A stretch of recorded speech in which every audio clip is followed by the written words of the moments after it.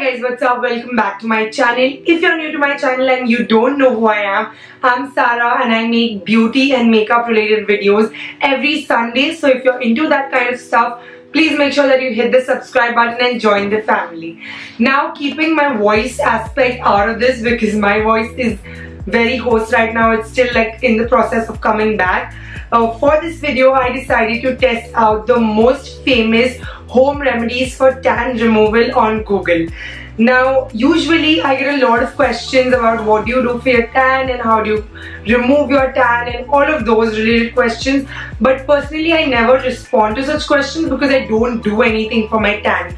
Whenever I'm back from a holiday or it's like summer in Bombay or it's post my swimming and all and when I get tan generally I just let it fade automatically like let my natural color just come back on its own. Because one all of these things take up a lot of your time. And two I never really see them working that effectively and creating more of a mess. Like home remedies create so much of a mess.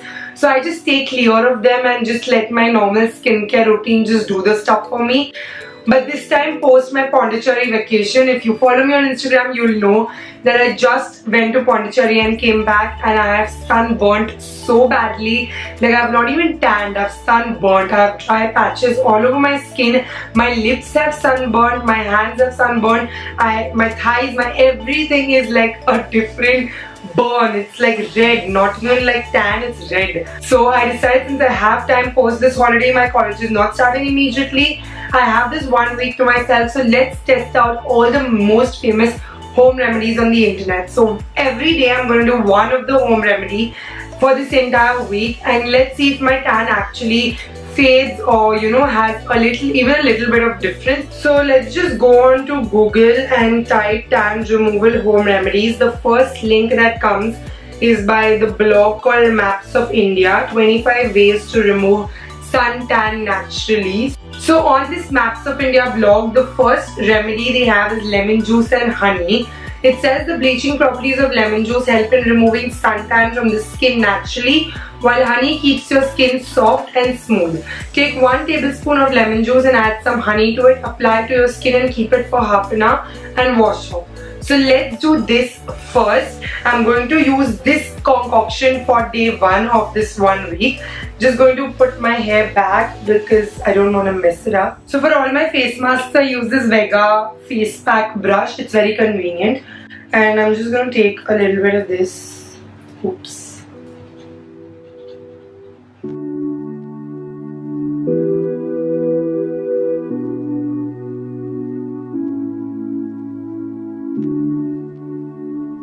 Okay, so I've applied this on my face, both my hands, everywhere on my neck, whatever areas most exposed to the tan. I'm going to let it sit on my skin for 30 minutes just like it said in the blog.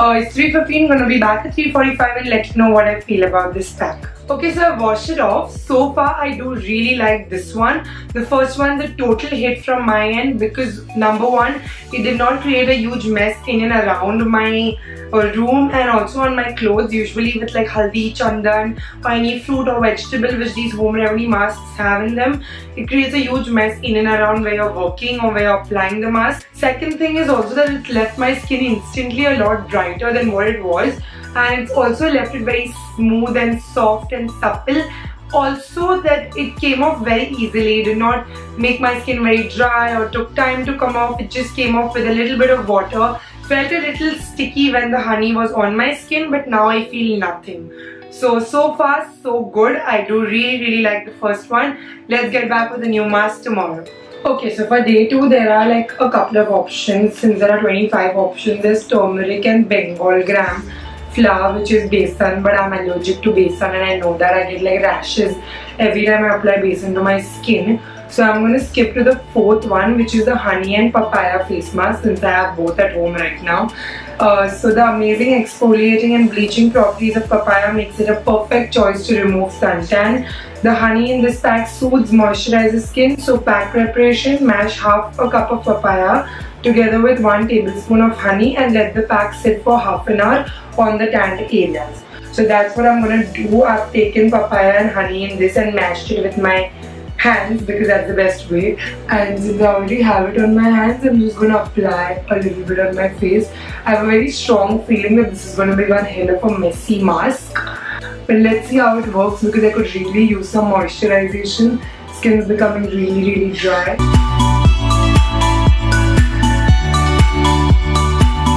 I'm applying it on my lips as well since my lips are also tanned and they are very dark right now so just like I suspected, it's a super messy mask. It's on my sleeves, it's on my pants, it's on my floor. It's just everywhere. But I'm going to let it sit for half an hour and see if it actually helps with the tan. Okay, so I took the mask off and it wasn't that tough to take it off. Like as compared to the lemon and honey mask, this one was definitely tougher because the papaya chunks just sit on your skin and don't come off. What you could do is basically apply this and then go for a shower. I've already had my bath for the day so I couldn't do that. It was intensely moisturizing like again my skin feels very soft because again papaya and honey both are super moisturizing and it has added a little bit of a glow to my face. I can't really see any detan so much so of course in one shot you can't see so much of a difference okay so this was the mask of the day i think it was okay okay i would rate it like a 5 out of 10 uh, because of how much mess it created it even messed up my hair so i had to put it in a bun um, I will see you guys tomorrow with a new one. Okay guys, so it's day 3 and for today I'm doing the turmeric and milk face mask. So it says the healing turmeric and exfoliating properties of milk Make this home remedy a best pick to remove skin tan. Add a pinch of turmeric to 2 tablespoons of milk. Slather the solution on the tanned areas until dry. Wash off with normal water. So it just says to keep it until dry, not for half an hour like the other two masks. I'm not going to lie, this is one of my favorite home remedy face masks. As a child, I used to do this all the time. The only disadvantage is that if you do too much haldi, it might like uh, tint your skin, but that's just temporary.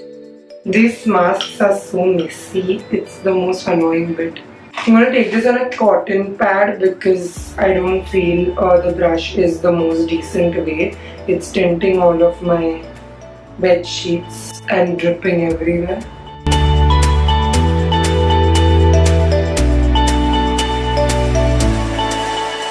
I have so much left, I'm gonna apply it to my legs.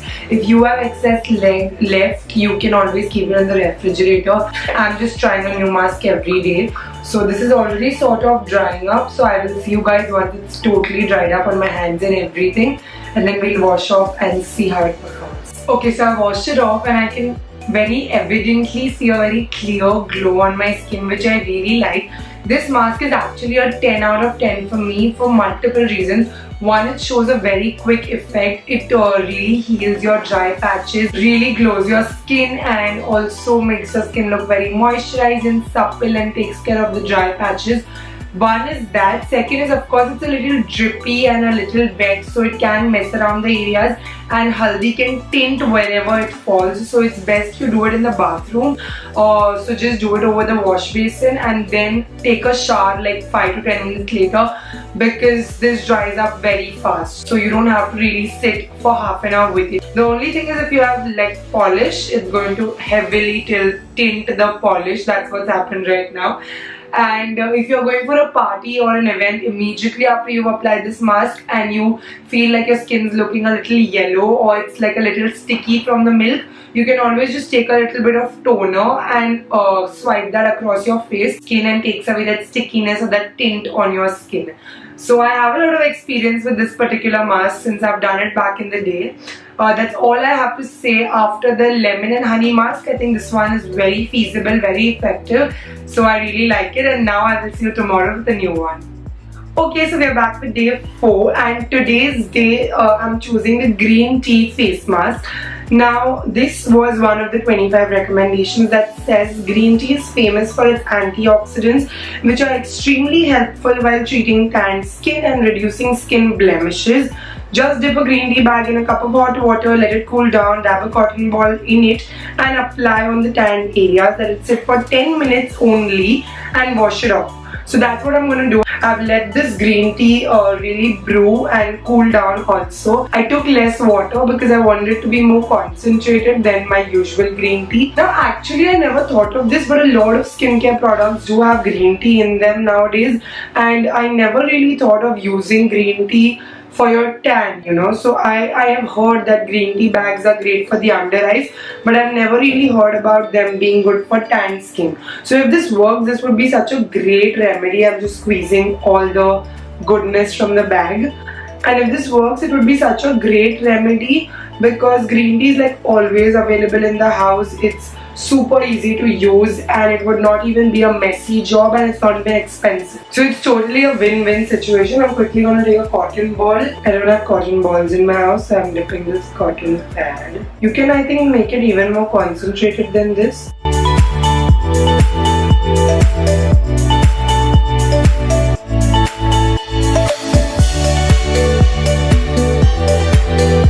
Going to let it sit for 10 minutes and then see if actually it makes any difference to my skin. Okay, so straight up a super easy mask to wash, a super easy mask to apply.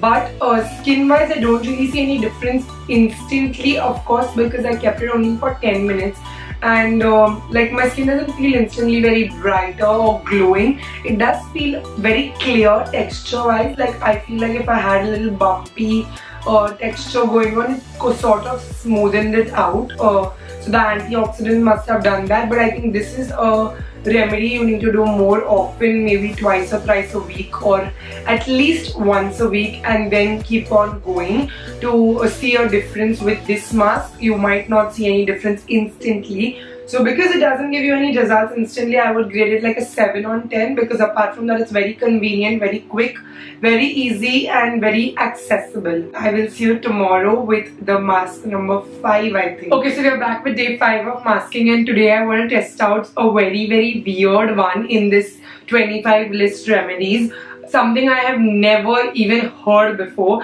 It says Vicks VapoRub. The Vicks we apply when our nose is congested. Applying Vicks VapoRub on the tan area is an ideal remedy to treat sunburns. Now I'm really desperate because my sunburns today I applied makeup and they were really emphasized with the powders and everything. So I really want to test this out. It could also be interesting to know if it harms your skin. I'm actually scared. I thought I wouldn't test this out at all and not recommend it.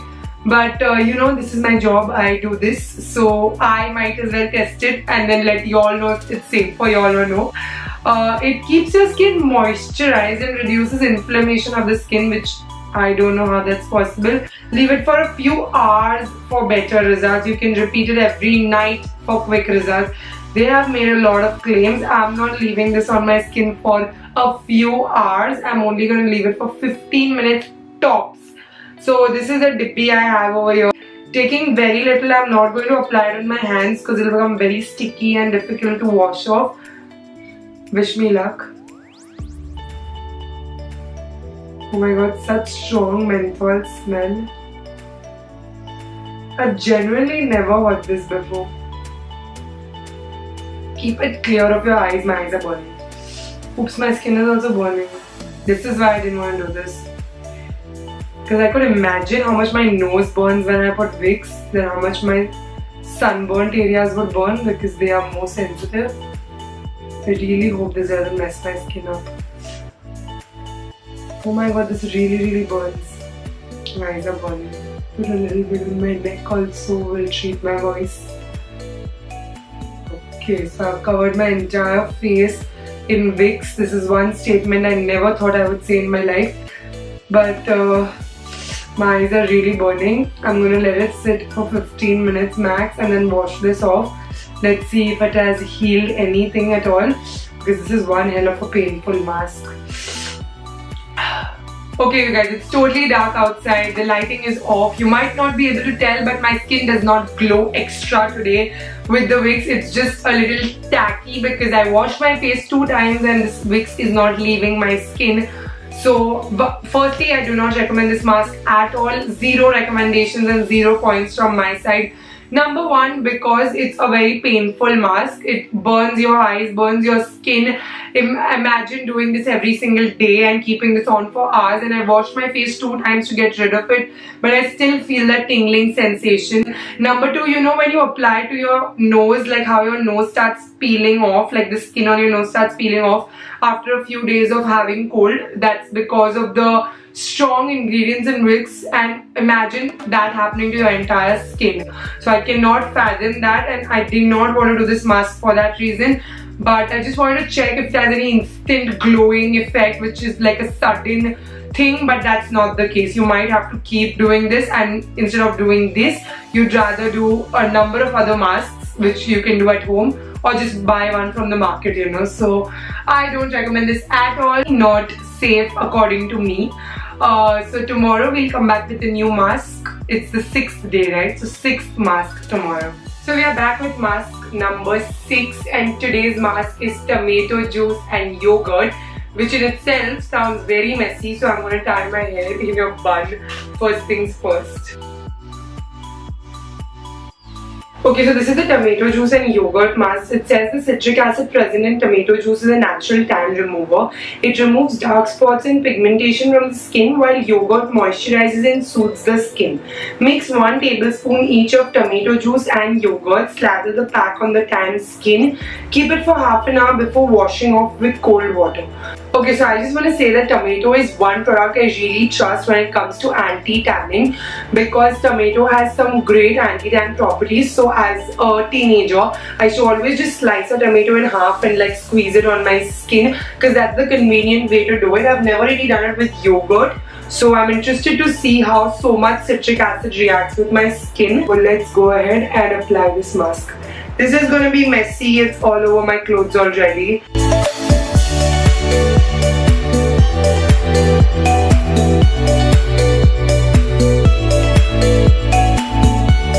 So it's 5.30. Let's keep the mask for half an hour. So I'm going to keep it till 6 o'clock and then let's wash this off and see how it performs. Okay, so definitely a messy mask. Very difficult to remove. Like the tomato just slides off. But the yogurt is like a sticky base to your skin and it does intensely moisturize. I didn't realize how moisturizing yogurt can get till today. Uh, so it's feeling really really soft. I actually really like how my skin is looking right now. Uh, and I don't know if you can properly tell because again the sun has set but my skin is actually glowing. This mask I recommend only before bath because there are parts where tomatoes stuck, where yogurt sticky. So you might want to take a shower, not just apply this, wash it off in your wash basin and then go about with your day. Um, I really like this actually only for the messiness I might cut one point but apart from that it's a 9 on 10 for me. And tomorrow we'll be back with a new mask which will be the final one for this series. Okay so it's the final day and I'm back with another home remedy from that blog and today's home remedy is wheat flour. So it says this home remedy is perfect if you want to fight suntan along with brightening your skin tone. Combine 2 tablespoons of wheat flour with some water to make a thick paste and let it sit for 15 minutes and then wash. So that's what I have done. I've mixed wheat flour with water and made a paste out of it. I've not made too much because I don't plan to put too much on my hands. So today is the final day and we are going to also review all the home remedies we did till now. But let's start with this one.